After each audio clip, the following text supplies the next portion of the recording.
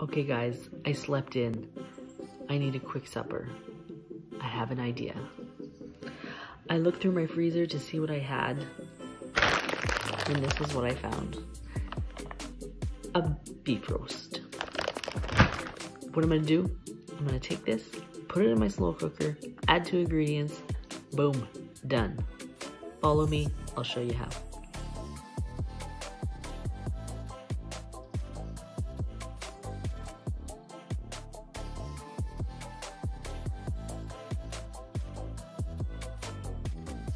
That's literally it. You put your beef in the thing, add your packages of ranch and au jus.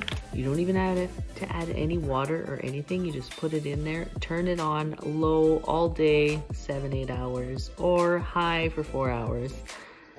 You have supper. Mississippi pot roast. Boom. You're welcome.